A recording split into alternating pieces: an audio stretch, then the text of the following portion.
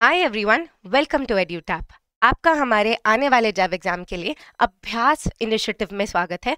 इस इनिशिएटिव के थ्रू हम कोशिश कर रहे हैं कि आपकी जो I I B F Macmillan book है सारे ही सब्जेक्ट्स की उसके जो पीछे के एम हैं चैप्टर वाइज आपके जो प्रैक्टिस क्वेश्चन दिए गए हैं, उन्हें हम आपसे डिस्कस करें।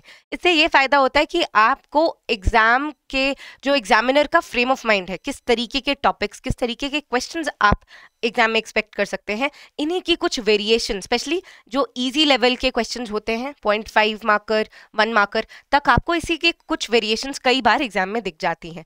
और तो और आपको अपनी करंट लेवल ऑफ़ प्रिपरेशन का भी आइडिया लग जाएगा। अब प्रॉब्लम ये है कि क्वेश्चंस के जो एंड पे क्वेश्चन एंड आंसर फॉर्मेट में ये बुक में दिया गया है, उसकी एक्सप्लेनेशन वहाँ पे मिसिंग है। तो इस सीरीज़ के थ्रू हम कोशिश करेंगे आपको अच्छी एक्सप्लेनेशन प्रोवाइड करें और एक रास्ता आपको मिल जाए कि किस तरीके से आपको इम्प्लीमेंट करना है ये लर्निंग्स अपनी प्रिपरेशन में। तो पिछले हफ़्ते मैंने आपके साथ मॉड्यूल ए के क्वेश्चंस डिस्कस किए थे आरबीडब्ल्यूएम यानी कि retail banking and wealth management subject के। आज मैं आपसे मॉड्यूल बी को डिस्कस करने वाली हूँ। ये इसका पार्ट ए है, ताकि जो लंबा इंपॉर्टेंट ये मॉड्यूल है, इसके कुछ क्वेश्चंस हम नेक्स्ट वीक डिस्कस करेंगे। आपके एग्ज़ाम से पहले सारे ही क्वेश्चंस डोंट वरी सारे के सारे हम डिस्कस कर लेंगे। इससे होने वाली लर्निंग्स को प्लीज़ अपने रिविजन शेड्यूल्स और प्रैक्टिस में इम्प्लीमेंट कीजिएगा ताकि आप एग्ज़ाम में अच्छा स्कोर कर पाए। अगर कोई भी दिक्कत आ रही है आपको इस वक्त प्रिपरेशन में एग्ज़ाम सर पे है, पूरा it is time for you to buckle up you can consider purchasing this course आप J A I I B seventy five code का यूज़ कर सकते हैं। इस कोर्स में बेसिकली हम ये समझते हैं कि बैंकर्स और वर्किंग एस्पिरेंट्स की ये प्रॉब्लम होती है कि उनके पास टाइम का टाइम की कमी है। तो what we have done is we have taken every chapter we have split into subtopics और उन टॉपिक्स को हमने 15 15 मिनट्स की वीडियोस में कवर कर दिया है। तो ये जो वीडियोस हैं, उसके साथ हमने नोट्स प्रोवाइड किए हैं, बट बिल्कुल समराइज्ड और संक्षेप में आपको नोट्स मिल जाते हैं। वो पढ़िए 15 15 मिनट्स वाले टॉपिक वीडियोस देखिए और उसके बाद आप क्विजेस प्रैक्टिस कर लीजिए चैप्टर वाइज इसके अलावा टेन फुल लेंथ टेस्ट भी आपके पास अवेलेबल है ताकि आप बिल्कुल एग्ज़ाम रेडी होके एग्ज़ाम में जाए। So consider buying this course J A I I B seventy five is the code you can use for getting seventy five percent off तो let's now begin with our question आपको मेरे लिए काम करना है कि you have to figure note exactly what kind of question you are getting wrong किस तरीके से आप सोच रहे हैं, कहाँ पे आपको फैक्चुअल इन्फॉर्मेशन मिसिंग थी, किस तरीके से आपने गेस वर्क किया so please note that down and find your score score से आपको अंदाज़ा होगा कि आपको किस तरीके से, किस डायरेक्शन में चलना है। तो हम अभी मॉड्यूल बी डिस्कस कर रहे हैं। ये चीज़ ध्यान में रखते हुए अपनी असेसमेंट कीजिएगा। So let's start with the first question which is the customer segment whose income level is between ten lakh to fifty lakh is referred to as A mass affluent B super affluent C H N W यानी कि high net worth या D mass market आप जानते हैं, ये question customer segmentation से लिया गया है। So please note down your answer the correct answer here is option A that is mass affluent जो हर बैंक अपने कस्टमर्स को कुछ सेगमेंट्स में डिवाइड करता है क्लासिफाई करता है। अब ये क्लासिफिकेशन उनके इनकम उनकी जियोग्राफी उनके जो एक्सपेंडिचर हैबिट्स है, किसी भी तरीके से हो सकती है। लेकिन जो सबसे इंपॉर्टेंट क्लासिफिकेशन है, वो है customer segmentation based on income level एक कस्टमर का जो भी इनकम लेवल है उसी से उसकी net value to the bank determine होती है कि कितना वो बिज़नेस ला सकता है कितने असेट्स एक बैंक को दे सकता है। जितना ज़्यादा एक इंडिविजुअल uh, का इनकम लेवल उतनी potential for earning more profits from that particular customer इसी वजह से ये सेगमेंटेशन बहुत ज़्यादा इंपॉर्टेंट हो जाती है। किसी ना किसी फॉर्मेट में आपको ये क्वेश्चन uh, एग्ज़ाम में भी दिख सकता है। तो let's look at all the criteria दो से दस लाख पर एनम ये क्लासिफिकेशन का क्राइटेरिया है, ये भी आपको बहुत अच्छे से आना चाहिए। दो से दस लाख में आप मास मार्केट मानते हैं। दस से पचास लाख जो इंडिविजुअल अर्न कर रहा है per annum mass affluent 50 to 400 super affluent. 400 to 4000 this becomes HNW यानी कि हाई नेट वर्थ इंडिविजुअल फिर four thousand to one lakh 20000 ये यहाँ पे थाउज़ेंड नहीं है income level rupees lakh per annum मतलब 4000 to 1 lakh 20000 lakh per annum super high net worth और above 1 lakh 20000 lakh per annum ultra high net worth तो ये कस्टमर क्लासिफिकेशन है, जो एक एक्सेप्टेड फॉर्मेट है, जिसमें बैंक्स अपने कस्टमर्स को इनकम बेसिस पे क्लासिफाई करते हैं। Let's look at the next question Which of the following needs falls within the classification of Maslow's hierarchy of needs? Maslow की नीड हराकी थ्योरी के according जो ये इस, जो उसने फाइव फोल्ड क्लासिफिकेशन दी है नीड्स की, उसमें से, इसमें से कौन सी आती हैं या नहीं आती हैं? Number one physiological needs number two safety needs number three social needs number four urgent needs please write down your answer this is very simple जो पाँच Maslow's hierarchy of needs basically एक मोटिवेशन थ्योरी है। ये theory ये बताती है कि किस तरीके से एक इंडिविजुअल अपनी नीड्स के अकॉर्डिंग अगले अगले स्टेप पे बढ़ता चला जाता है मोटिवेट होता चला जाता है। यहाँ पे दी गई दी गई नीड्स में से अर्जेंट नीड्स इस थ्योरी के अंदर कैटेगराइज नहीं है। तीन जो नीड्स जो पाँच मैस्लोस नीड हरा की थ्योरी की नीड्स है उसमें से तीन नीड्स यहाँ पे लिखी गई हैं, जो कि है one two and three physiological safety और सोशल नीड्स तो the correct answer becomes option C let's look at this diagram which beautifully represents Maslow's hierarchy of needs physiological safety love and belonging इसी को social needs भी बोलते हैं esteem और self actualisation Maslow की need हरा की थ्योरी ये कहती है कि एक इंडिविजुअल मोटिवेट होता है अपनी नीड्स की वजह से. फिजियोलॉजिकल नीड्स आपकी बिल्कुल बेसिक नीड्स है, रोटी कपड़ा मकान जैसी. जिसके बिना सर्वाइवल ही पॉसिबल नहीं है। उसके बाद आती है एक इंडिविजुअल की सेफ्टी नीड्स वो सेफ़ और सिक्योर फील करना चाहता है।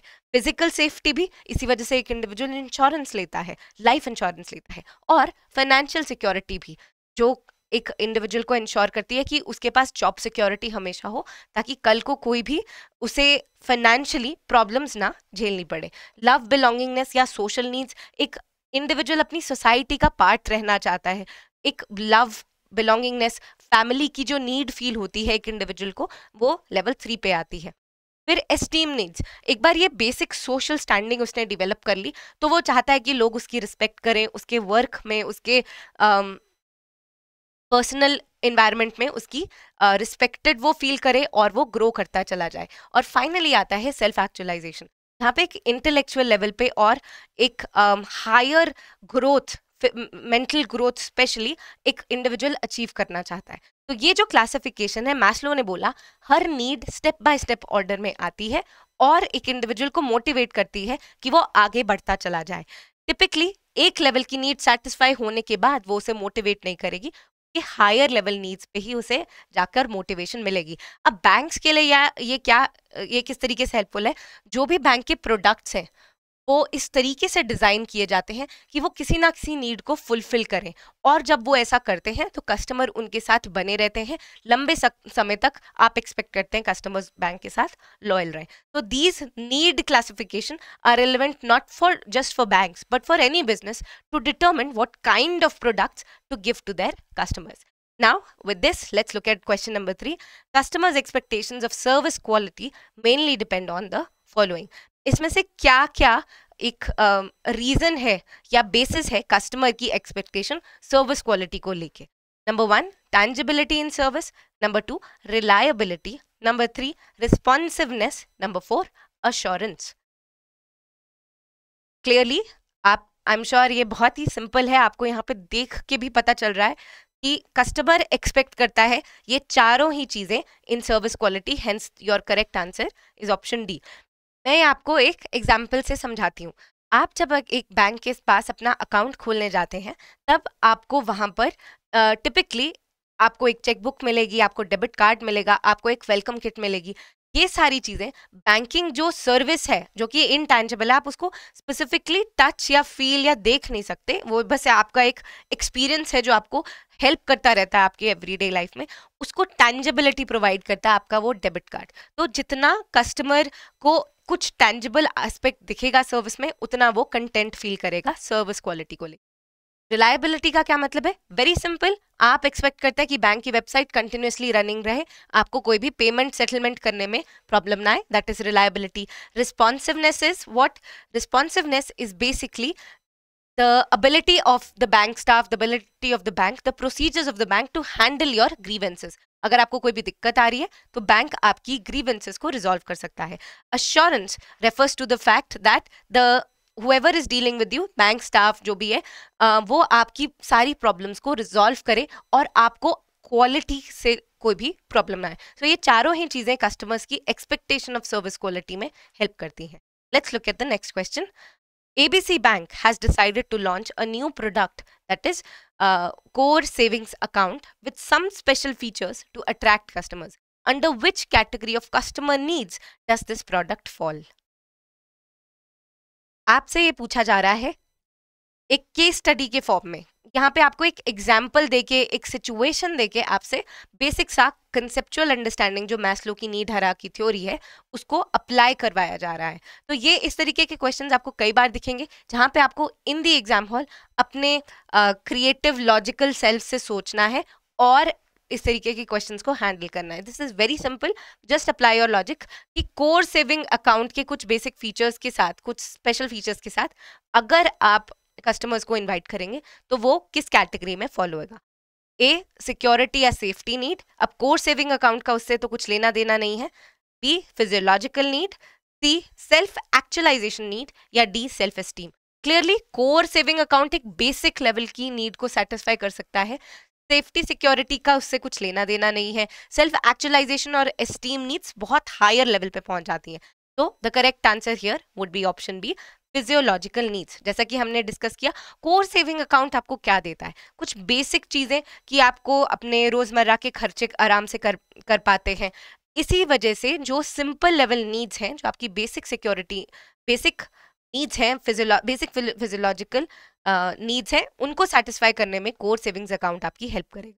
So this is I given you some examples कि किस कैटेगरी के अंदर किस तरीके की सर्विस आप एक्सपेक्ट कर सकते हैं। कोर सेविंग अकाउंट आपका फिजियोलॉजिकल नीड को ही सेटिस्फाई कर रहा है। ऐसे ही आपकी एक्सीडेंट कवर हाउसिंग लोन भी बेसिक आपकी रोटी कपड़ा मकान एवरी डे बेसिक थिंग्स जो कि नेसेसरी फॉर सर्वाइवल हो चुकी हैं आज के डेट में उनको सॉल्व कर रहा है। ऐसी सेफ्टी नीड्स में आपकी एफ़ लाइफ के आ, कुछ हद तक सेविंग्स करके रखना ताकि कोई भी डिफ़िकल्ट टाइम आए तो आप सिक्योर फील करें। लाइफ इंश्योरेंस लेना टैक्स प्लानिंग करना और म्यूचुअल फंड्स ये आपकी कुछ सेफ्टी नीड्स के साथ एसोसिएटेड है। सोशल लव और बिलोंगिंगनेस जो नीड्स हैं आपकी वो आपको एक सोशल स्टैंडिंग अवेल करने के लिए हेल्प करती हैं। पर्सनल लोन्स कई बार लोग मैरिज सेरेमनी वगैरह के लिए लेते हैं।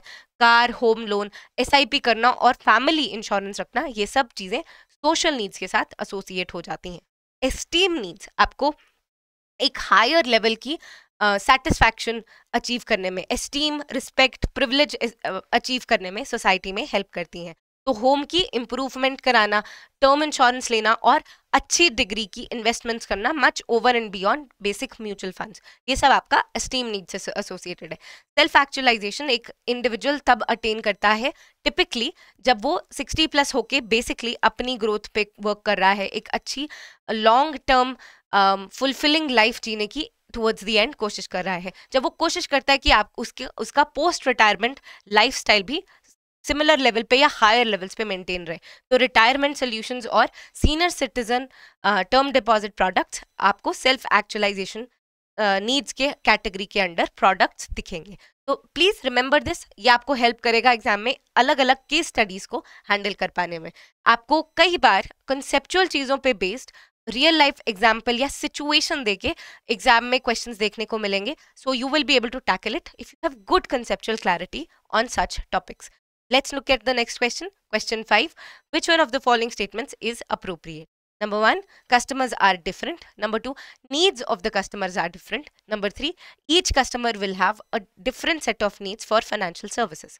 बहुत क्लियरली ये बिल्कुल तीनों ही स्टेटमेंट बहुत ऑब्वियस तरीके से बिल्कुल सही है पहली स्टेटमेंट यही कह रही है कि हम सब डिफरेंट हैं ये बिल्कुल सही बात है नीड्स हमारी भी हमारे socio economic background level of understanding level of education level of income levels geography culture इन सब पे डिपेंड करती हैं तो हर कस्टमर की नीड भी डिफरेंट होती है। और जिस तरीके की नीड्स उसी के तरीके की फाइनेंशियल सर्विसेज़ की एक इंडिविजुअल को ज़रूरत। फॉर एग्जांपल कोई इंडिविजुअल सात लाख से कम अर्न कर रहा है, जिस पे कोई टैक्स नहीं पड़ना है तो उसको अपनी डिडक्शंस को क्लेम करने के लिए ई एस फंड्स में पैसे लगाना, या फिर टैक्स सेवर एफ़ डी करना इस तरीके की नीड नहीं होगी ये बहुत एक सिंपल सा एग्ज़ाम्पल है कि इनकम लेवल चेंज होने की वजह से कैसे कुछ नीड्स चेंज होती चली जाती है। So the correct answer here is option D let's look at the next question which one of the following statement is correct with respect to the product cycle number one in the introduction stage of a product the sales volume will be low and the revenue from the products will not be sufficient to cover the cost of producing marketing and servicing it Number two, in the growth stage, which is the second stage in the life cycle, the sales volume will remain stagnant. Number three, the in the maturity stage, there is more growth and sales volume peaks. इसको समझ पाने के लिए आपको किसी भी product की life cycle समझना बहुत ज़रूरी है please note the correct answer for on your copy the correct answer in this case would be option C और फिर मैं आपको uh, इस चीज़ की अच्छे से पूरी कॉम्प्रिहेंसिव एक्सप्लेनेशन देके वापस आती हूँ इसी स्टेटमेंट पे। यहाँ पे करेक्ट आंसर होएगा ऑप्शन सी क्योंकि सेकेंड स्टेटमेंट गलत है। Let's look at you see let's look at the explanation for the product life cycle अब कोई भी प्रोडक्ट अगर पहली बार इंट्रोड्यूस हो रहा है मार्केट में, उसको आपको तीन चीज़ों के लेंस से देखना है। पहली चीज़ तो है कि कस्टमर की परसेप्शन क्या है। जब नया नया प्रोडक्ट इंट्रोड्यूस हुआ है तो उसको अभी तक कस्टमर्स को अवेयरनेस ही नहीं है तो अभी तक उसको अट्रैक्शन नहीं हुई है एक प्रोडक्ट से। इसी वजह से उसकी सेल्स भी उतनी ज़्यादा नहीं होंगी sales volume will be low and the revenue will be less than cost जितना उस प्रोडक्ट को बनाने में ही लग रहा है, उससे कम उससे रेवेन्यू आ पाएगा, इसी वजह से इस स्टेज पे ज़्यादातर फर्म्स लॉसेस में होंगे, अगर कोई रिसेंटली प्रोडक्ट लॉन्च हुआ है। फिर आती है एक अच्छी stage which is the stage of growth जहाँ पे कस्टमर्स की अवेयरनेस अबाउट द प्रोडक्ट बढ़ती चली जाती है। लोगों को पता चलने लगता है कि प्रोडक्ट कैसा है और उसकी बातचीत होने, होनी शुरू हो जाती है मार्केट्स में। फिर सेल्स वॉल्यूम धीरे धीरे करके पिकअप हो जाती है। ग्रोथ फ़ेज़ में बहुत तेज़ी से सेल्स की ग्रोथ देखने को मिलती है। फिर रेवेन्यू लेवल पे अगर आप बात करें तो यहाँ पे एक ब्रेक इवन होता है। यानी कि जो कॉस्ट है और रेवेन्यू है वो इक्वल हो जाते हैं। तो इस स्टेज में, जो कि ग्रोथ स्टेज है, वहाँ पे जो एक्सपेक्टेड है कि लॉसेस होना, ये चीज़ अब पीछे छूट चुकी है और बिज़नेस प्रॉपरली ग्रो कर पा रहा है ब्रेक इवन लेवल अटेन कर चुका है वो सेल्स का। Now maturity phase is the golden period for any organisation maturity phase में जो कस्टमर्स परसेप्शन है, बहुत लोगों को इस प्रोडक्ट के बारे में पता है, वो उससे सेटिस्फाइड है। सेल्स वॉल्यूम पीक कर जाती है हाईएस्ट जहाँ तक पहुँच सकती थी पहुँच जाती है कस्टमर्स लॉयल हो चुके हैं उनको आदत हो गई है प्रोडक्ट की और वो यही प्रोडक्ट कंटिन्यूस बेसिस पे यूज़ करते हैं। सो सेल्स वॉल्यूम पीक्स इस लेवल पे पहुँच जाती है कि वो एक सस्टेनेबल लेवल है। हाई हाई ग्रोथ होने के बाद अच्छी ला, लार्ज मार्केट सेगमेंट में कस्टमर्स के पास ये सेल इस प्रोडक्ट की नॉलेज है और वो उसे यूज़ कर रहे हैं। तो अब कॉस्ट जो है वो पीछे रह जाती है। जो हायर जो रेवेन्यू है वो कॉस्ट से ज़्यादा है revenue is greater than cost and this leads to what profits तो यही वो स्वीट स्पॉट है किसी भी प्रोडक्ट की लाइफ साइकिल में जो हर बैंक हर बिज़नेस चाहता है कि उसके कस्टमर्स इसी फ़ेज़ में रहें।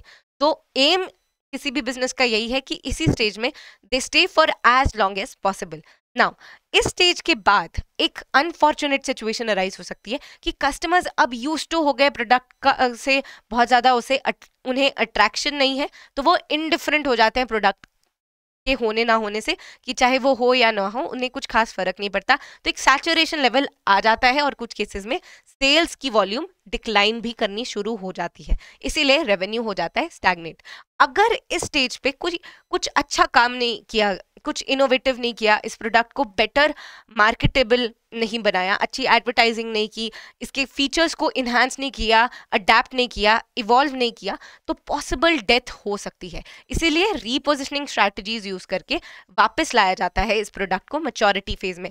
कोशिश की जाती है डेथ अवॉइड करने की प्रोडक्ट की और उसे वापस लाया जाए मेचोरिटी फ़ेज़ तो ये प्रोडक्ट लाइफ साइकिल से आप कई क्वेश्चन एक्सपेक्ट कर सकते हैं।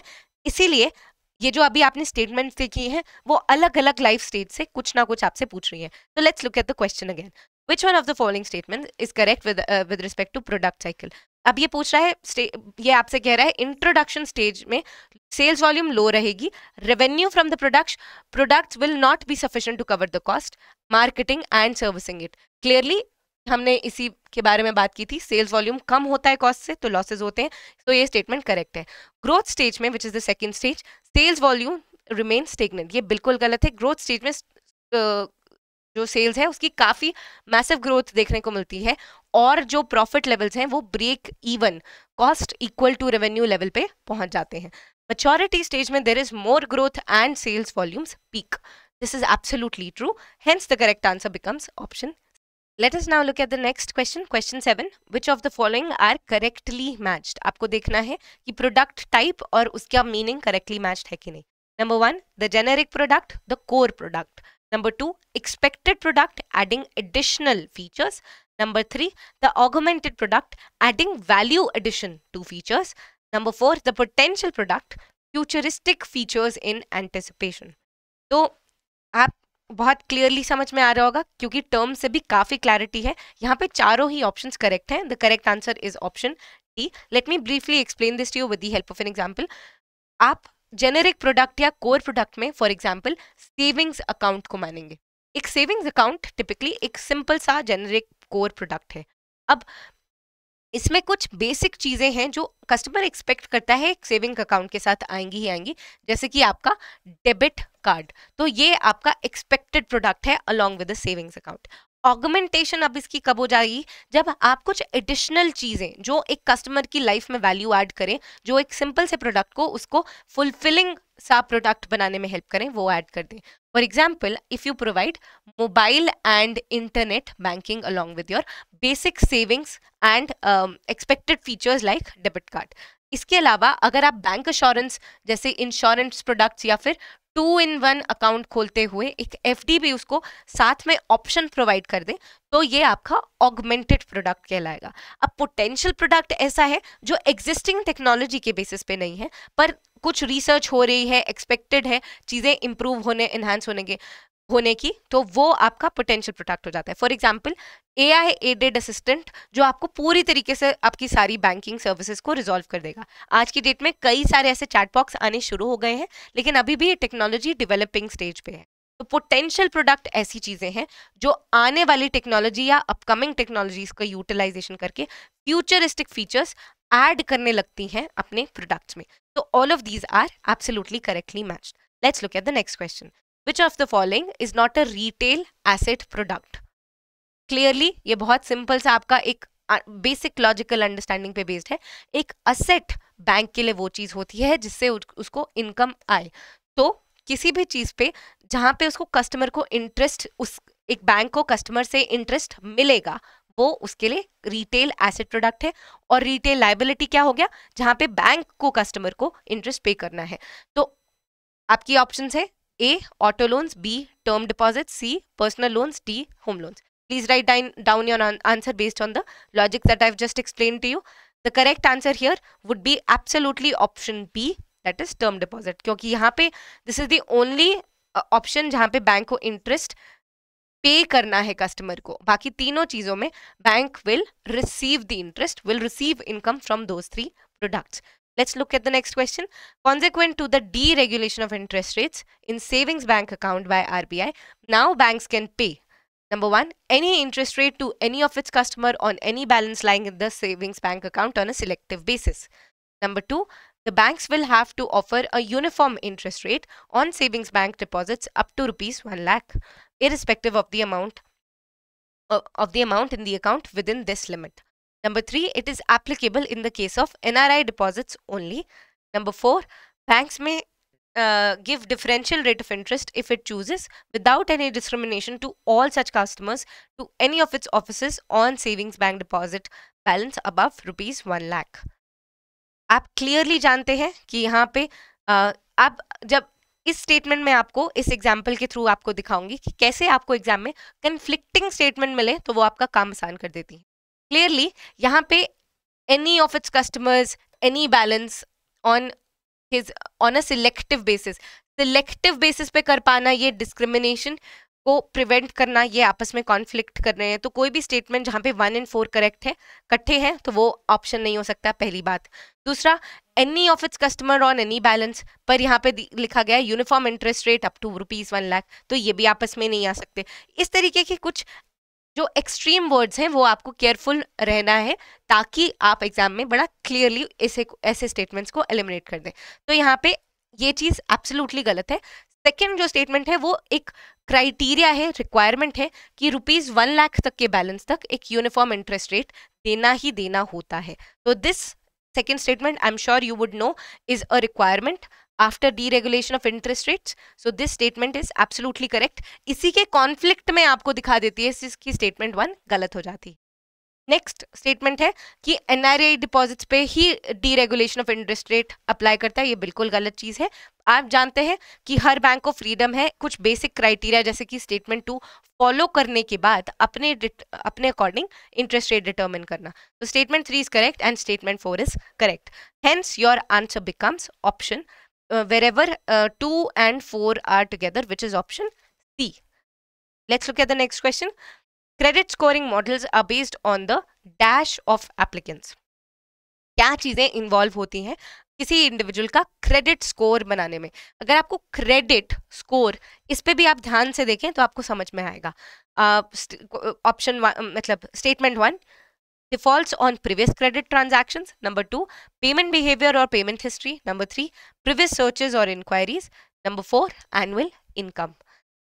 Please note down your answer. Clearly, इसमें से एक चीज़ है जो आपको उछल उछल के कहेगी कि ये तो गलत हो जाता है क्योंकि क्रेडिट से उसका कुछ लेना देना नहीं है अगर प्रीवियस क्रेडिट ट्रांजैक्शन, यानी कि आपने पहले कोई लोन लिया या पहले का कोई क्रेडिट कार्ड बिल था उस पर आपने डिफ़ॉल्ट किया तो ये तो आपका क्रेडिट स्कोर को खराब करेगी। एक क्रेडिट स्कोर वो एक ज़रिया है, एक मीडियम है, एक बैंक के लिए असेस करने का, कि आप अपनी क्रेडिट पेमेंट्स कितना फ्रीक्वेंटली टाइमली करते हैं। तो statement one would be absolutely included statement two कह रही है पेमेंट बिहेवियर और पेमेंट हिस्ट्री कितना फ्रीक्वेंटली टाइमली आप अपने डेट्स को पे ऑफ़ कर पाते हैं, ये भी एक रेलिवेंट फैक्टर है क्रेडिट स्कोर बनाने के लिए. प्रीवियस सर्चेज या इंक्वायरीज आप कितनी बार बैंक के पास गए हैं और बैंक ने आगे क्रेडिट इन्फॉर्मेशन यानी C I C credit information company से पूछा है कि आपकी क्रेडिट हिस्ट्री क्या है. जितना ज़्यादा इस तरीके की सर्चेज हैं उतना ज़्यादा आपके ऊपर रेड फ्लैग रेज किया जा सकता है।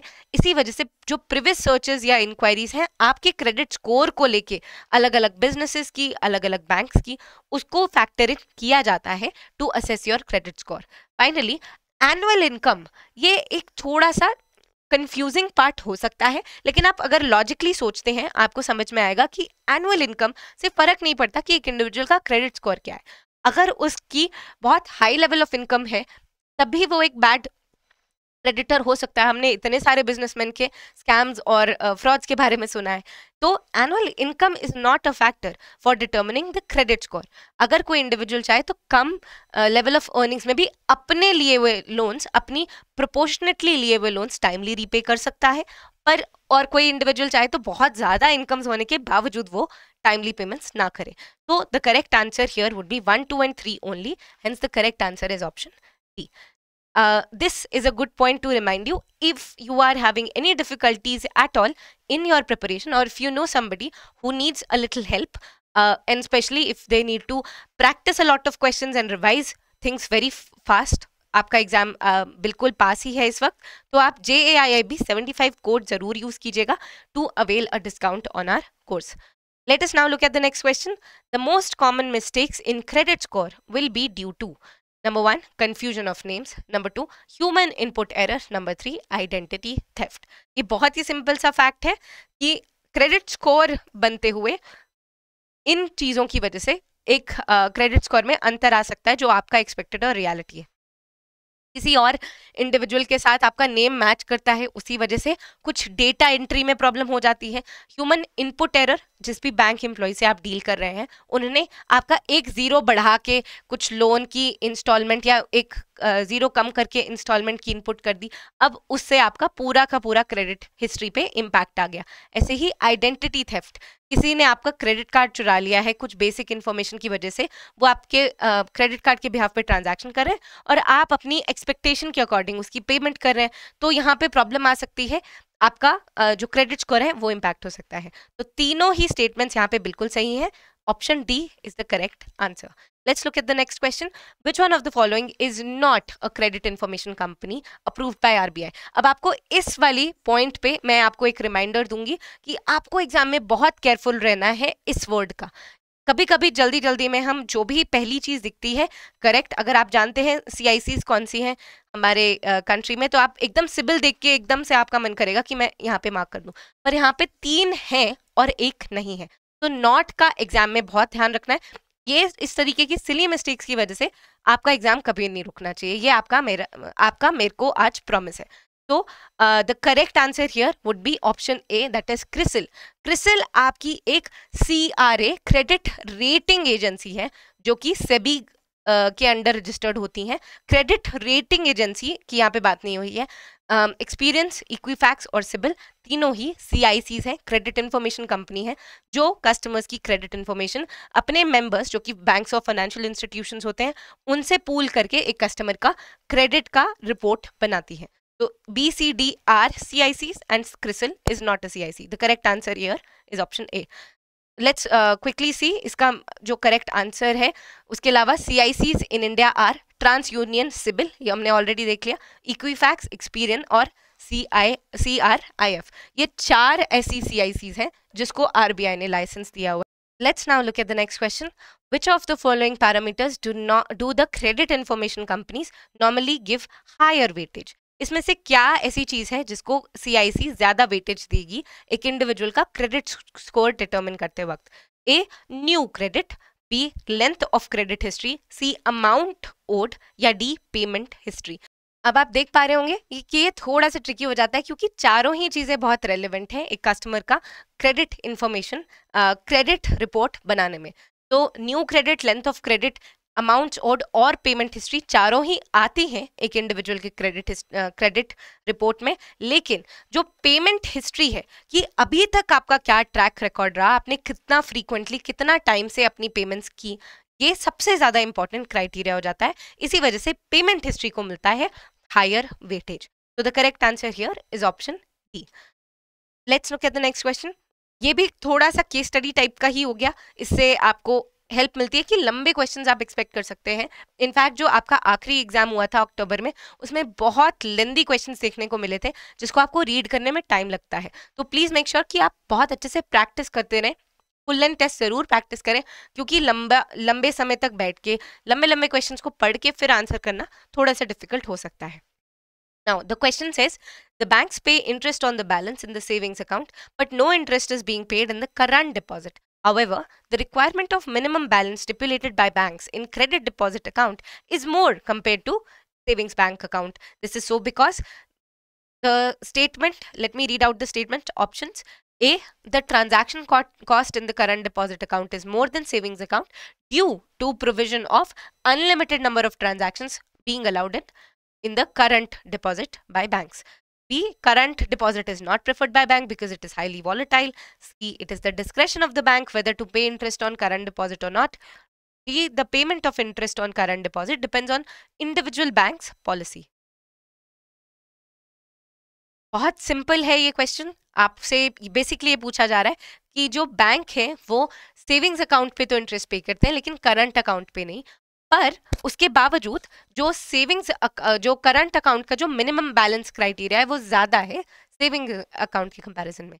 यहाँ पे ऐसा क्यों हो रहा है? Clearly the answer is option A कि जो ट्रांजैक्शन कॉस्ट है करंट डिपॉजिट की, वो ज़्यादा है। क्योंकि सेविंग्स बैंक में maximum number of transactions allowed limited है बैंक चाहे तो वो लिमिट कर सकता है। लेकिन करंट डिपॉजिट अकाउंट में, क्योंकि ये केटर करता है किनको बिज़नेस पर्सन को। जो ट्रेडिंग एक्टिविटी वगैरह करते हैं जिनको रेगुलर बेसिस पे फंड्स की फंड्स uh, की मूवमेंट की ज़रूरत होती है उनके लिए एप्लीकेबल है। तो करंट डिपॉजिट अकाउंट में मल्टीपल ट्रांजैक्शंस uh, बहुत फ्रीक्वेंट ट्रांजैक्शंस देखने को मिलती हैं और उस पर कोई लिमिट भी नहीं होती है बैंक तो इसी वजह से uh, जो इंटरेस्ट है वो सेविंग्स अकाउंट पे मिलता है लेकिन करंट अकाउंट पे नहीं मिलता क्योंकि जो ट्रांजैक्शन कॉस्ट है इफेक्टिवली करंट डिपॉजिट अकाउंट पे बैंक के लिए वो ज़्यादा हो जाती हैं। Because of the unlimited number of transactions being allowed. So the correct answer is option A. Let's look at the next question. According to income tax rule, a term deposit or FD may be paid in cash. If अगर कब किस case में term deposit या FD cash में दी जा सकती है इसका एक इनकम क्राइटेरिया है वो आपको पता होना चाहिए A if the amount of matured proceeds is less than 2000 it is, if it b if it is up to 20000 c if it is more than 20000 D. Banks can pay any amount after being satisfied with the genuineness and the integrity of the customer. अब ऐसा कुछ नहीं है option D तो obviously गलत है आ, अपना answer आप नोट डाउन कीजिए कि किस इनकम थ्रेशोल्ड पे कितना अमाउंट की एफडी के रिटर्न पे यहाँ पे बैंक कैश में भी पे कर सकते हैं the correct answer here would be option A that is less than twenty thousand अगर बीस हज़ार से कम है मतलब 19,999 तक की डिपॉजिट है फॉर एग्ज़ाम्पल बीस हज़ार से कम है तो ही अमाउंट कैश में दिया जा सकता है। अप टू और more than twenty thousand the bank will have to do electronic fund transfer of the F D so the correct answer is option A let's look at the next question a reverse sweep facility in two in one account is applicable on A last in last out B first in first out C first in last out या D last in first out please note down your answer the correct answer here would be option D इसको अच्छे से समझने के लिए आपको basically two in one account का फंडा समझ में आना चाहिए कॉन्सेप्ट समझ में आना चाहिए और रिवर्स स्वीप क्या होता है ये भी आपको पता होना चाहिए। Two in one account basically जब आपका सेविंग्स अकाउंट और fix deposit kind of integrated है बेसिकली आपका जो भी सेविंग्स अकाउंट में एक बैलेंस के ऊपर जब जाता है, वो ऑटोमेटिकली स्वीप आउट हो जाता है and becomes a part of your F D so this facility is called a sweep facility अब इसी में रिवर्स स्वीप तब है, अगर आपके सेविंग्स अकाउंट में जो बैलेंस अवेलेबल है, वो आपकी नीड से कम हो जाए। अगर सेविंग्स अकाउंट में इतना बैलेंस अवेलेबल ही नहीं है कि आपके जो भी रिक्वायर्ड एक्सपेंसेस हैं, वो आप मीट कर पाए तो आपका जो लास्ट एफडी आपने की हो, होती है वो टूट जाती है और उससे आपके एक्सपेंसेस मीट होते हैं। So the criteria this is obviously to ensure कि जो आपका मैक्सिमम इंटरेस्ट बेयरिंग एफडी है उसको टच ना हो। जो सबसे लेटेस्ट टेन्योर की सबसे छो, छोटी एफडी जो लेटेस्ट टेन्योर की है वो हो। कुछ बैंक्स इवन ये क्राइटेरिया प्रोवाइड कर देते हैं कि रुपीज़ थाउज़ेंड थाउज़ेंड के मल्टीपल्स में ही वो एफडी ब्रेक होगी। तो ये बैंक बैंक पे डिपेंड करता है बट ओवरऑल रिवर्स स्वीप कि आपकी एफडी से आपका सेविंग्स अकाउंट में जो कम इनसफिशेंट बैलेंस है, उसको, उसकी पूर्ति करने के लिए आपका जो लास्ट ओपनड एफडी है, वो खुलती है। तो last in first out basis the correct answer is option D let's look at the next question बहुत ही सिंपल क्वेश्चन है। अगर आपको बेसिक भी आपका रिटेल एसेट प्रोडक्ट्स के बारे में, यानी कि लोन्स जो बैंक देते हैं, उसके बारे में आइडिया है तो you'll be able to handle this home loans are sanction by bank for the following purposes such as number one purchase और construction of house number two purchase और construction of flat number three purchase of land and construction number four addition to the existing house चारों ही cases में very very simple home loan आपको मिल सकता है। In fact home improvement loans भी आपको होम रेनोवेशन लोन्स भी आजकल मिल जाते हैं। तो all of these are correct the correct answer is option D let's look at the next question auto loans are given by banks for the following purposes such as A purchase of a new car C purchase of a used car C purchase of two wheelers D purchase of all of the above clearly rates और margin requirements वगैरह vary कर सकते हैं। New car के case में used car के case में two wheeler के केस में, लेकिन सारे ही पर्पसेस के लिए, इन सभी चीज़ों के लिए आपको ऑटो लोन्स मिल जाते हैं। The correct answer is option D अब ये क्वेश्चन काफ़ी सिंपल फॉर्मेट में था। आपकी बुक में काफ़ी डिटेल्स दिए हुए हैं, जो आप एक्सपेक्ट कर सकते हैं वन और टू मार्कर्स में। तो please don't restrict yourself to such easy level of question थोड़ा एप्लीकेशन बेस्ड हमने आज क्वेश्चंस देखे, कई सारे हमने logic based application based case study based भी देखे और फैक्चुअल डिटेल्स भी काफ़ी आपको याद रखने की ज़रूरत पड़ेगी specially in a chapter like retail asset products so please revise this very very carefully The correct answer in this case is option D. Let's move to the next question. Personal loans are sanctioned by banks based on Number one, salary in case of employees. Number two, monthly or annual income in the case of business persons. Number three, number of years of service in business.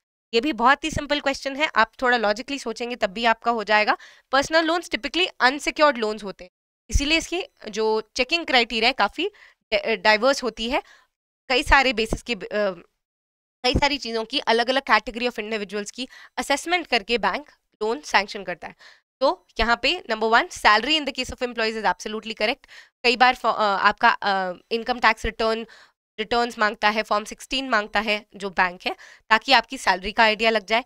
अगर business person है, उनका monthly या annual income उनके books of accounts या फिर ITR के basis पे assess करके और number of years in service and in business assess किया जा सकता है। अगर बिज़नेस है तो वो अगर लंबे समय से चल रहा है तो बैंक को आपकी लिक्विडिटी सॉल्वेंसी का अंदाज़ा हो जाता है और सर्विसेज़ में भी अगर आप बहुत टाइम से रह रहे हैं तो आपका रिलायबल इनकम होना कंटिन्यूस बेसिस पे इनकम होना, इसका आइडिया लग जाता है।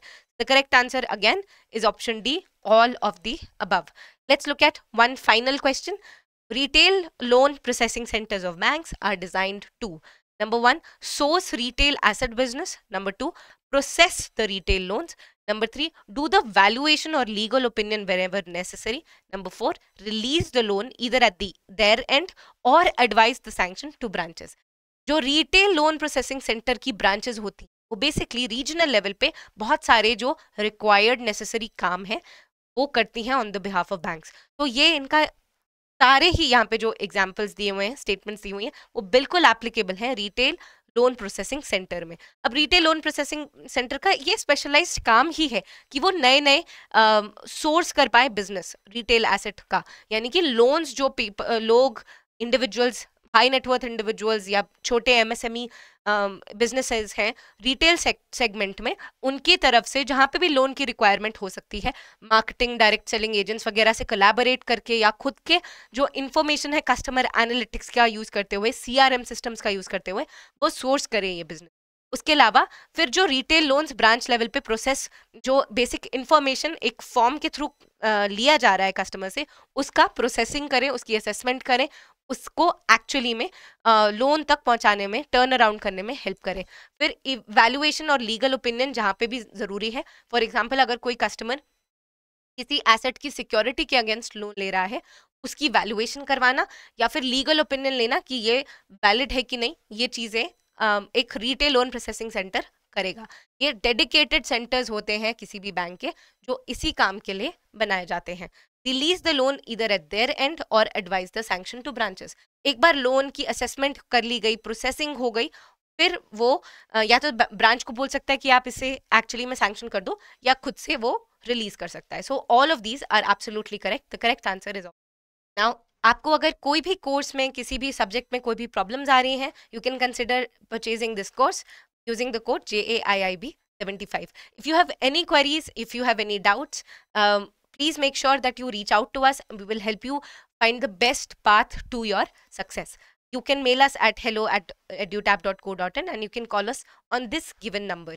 Please tell me how did you score? What are your pain points? What is troubling you in retail banking and wealth management? In the comments below. I will see you in the next class on the same time next weekend and we will be discussing questions from module b part two so जो जो remaining chapters रह गए हैं आपके module B के, वो मैं next week आपसे डिस्कस करूँगी. Thank you for watching I see you in the next class